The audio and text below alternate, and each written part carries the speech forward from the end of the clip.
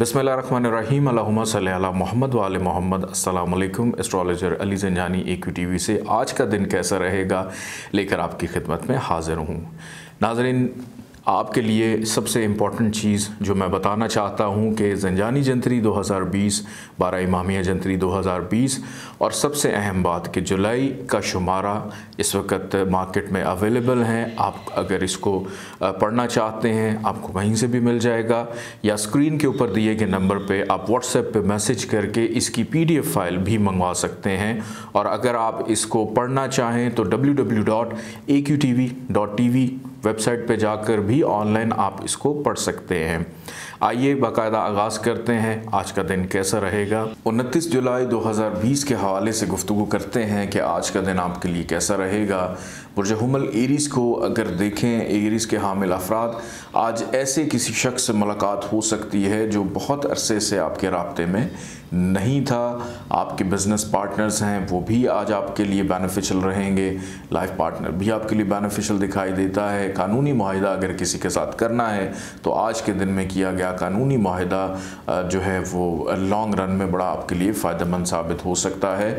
برج سوار ٹورس کی بات کریں تو ٹورس کے حامل افراد کو آج اپنی ہیلتھ کے اوپر تھوڑی سی توجہ دینی ہے۔ ضرورت سے زیادہ کی گئی محنت آپ کو تھکا سکتی ہے۔ ویکنس یا سستی کاہلی کا شکار بھی ہوں گے جس سے آپ کے کام ادھورے رہ سکتے ہیں۔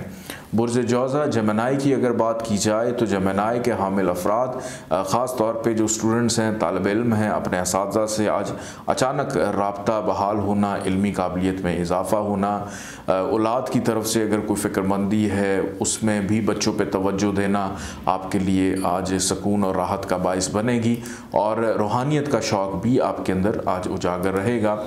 برج سرطان کینسر کے حوالے سے گفتگو کریں۔ کینسرینز جو ہیں، آج کا دن خرید و فروخت پہ جو ہے، یقین رکھتے ہوئے کچھ شاپنگ پہ بھی توجہ رہے گی اور اپنی گھر کی چیزیں پوری کرتے ہوئے نظر آتے ہیں۔ برج اسد، لیو کی اگر بات کی جائے تو لیو کے حامل افراد کو آج کسی اہم نوعیت کے کام سے ٹریول کرنا پڑ سکتا ہے۔ ذہن میں موجود نیگیٹو تھاٹس ختم ہوں گے اور کوئی ایسی کتاب جو نامکمل تھی، اس کو بھی آج مکمل یا ریسرچ کو مکمل کرتے ہوئے دکھائی دیتے ہیں۔ بجے ورگو کی اگر بات کریں، ورگو کے حامل افراد کا آج فائنینشلی طور پہ ایک بینیفیشل دن ہے۔ اور جو گرینڈ پیرنٹس ہیں، دادا، دادی، نانا، نانی، ان سے بھی فائدہ مل سکتا ہے۔ بڑے بزرگوں کی دعائیں، مشاورت آپ کے لیے فائدہ مند رہے گی۔ کسی سے بھی لی گئی ایڈوائس آپ کے لیے فائنینشلی طور پہ کافی حد تک بینیفیشل ہو سکتی ہے۔ برج میزان، لبرا کی اگر بات کریں، لبرا کے حامل افراد آج بیمار اگر تھے، صحت یابی کی طرف جا رہے ہیں ہیلتھ امپروو ہوتی ہوئی دکھائی دے رہی ہے اور کافی فریش ہیں ریلیکس ہیں ایکٹیو ہیں۔ اپنی سوچ کو پازیٹیو کرتے ہوئے اپنے دیگر کاموں کو بہتر کرنے کی کوشش بھی کریں گے اور آج کا دن فائدہ مند بھی رہے گا۔ اس حوالے سے برج اکرب اسکارپیو کی بات کی جائے۔ اسکارپیو کے حامل افراد آج کا دن اخراجات کا دن اور ضرورت سے زیادہ ایسے اخراجات جو آپ کے وہم و گمان میں نہیں تھے، وہ آج آپ کو کرنے پڑیں گے۔ اس کے ساتھ آپ کی شریک حیات کی صحت بھی خراب ہو سکتی ہے۔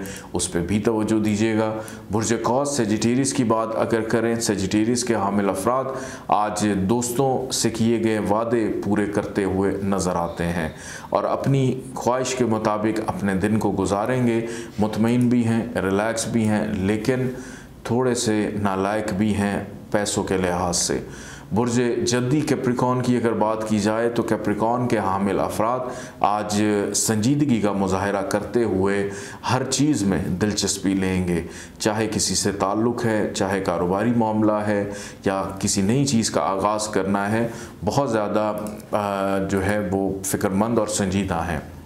برج دلو ایکیورس کی اگر بات کی جائے تو ایکیورس کے حامل افراد آج کوئی اگر خواب دیکھیں، اس کی تعبیر ضرور معلوم کریں، اس سے آپ کو مستقبل کی آگاہی بھی ملے گی۔ کسی دور دراز کے مقام پہ جانے کا پلان بن سکتا ہے۔ روحانی سفر ہے، حج ہے، عمرہ ہے، زیارات ہے، اس حوالے سے بھی کچھ پلاننگ آج آپ کی ہو سکتی ہے۔